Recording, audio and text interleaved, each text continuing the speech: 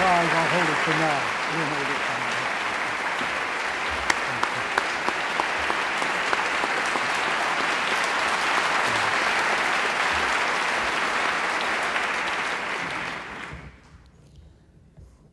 Thank you very much. Uh, Mr. Goldman, oh, you've gone.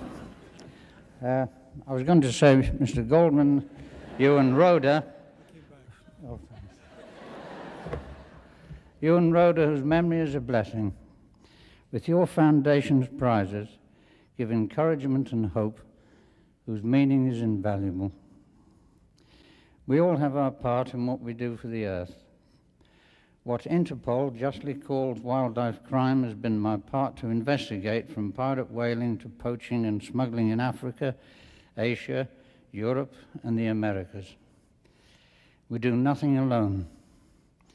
Many have helped me, particularly David Shepherd, international artist and conservationist.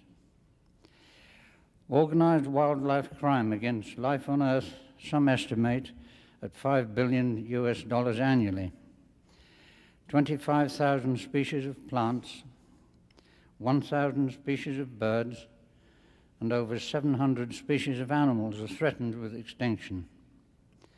This decade, a million or 20% of Earth species may become extinct. A major part of the threat is wildlife crime. Interpol confirms the profitable markets of Asia, Europe, and North America provide the money incentives for this crime. By the Zambezi River in Zambia, where once were clouds of lovebirds, bright as ideas of God, few remain. This too is the price. Only with strong public and business support and cooperation can wildlife law enforcement officers, police, and customs defeat wildlife crime. Only with active media religious community and individual support of old and young can the profundity and scale of wildlife crime be exposed and prevented. Of wildlife management, much is said. Yet, isn't the central question what are we all doing to manage ourselves?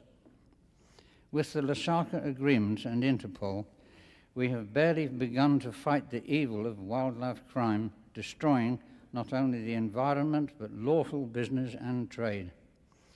Therefore, your award to me will form the basis of funding for the task force of the Lusaka Agreement through our Fighting Wildlife Crime Fund. In my 70th year, the Goldman Foundation Award wins recognition and serious action against the threat of wildlife crime on Earth. We who have worked against it, however imperfectly, can leave life feeling good. Thank you.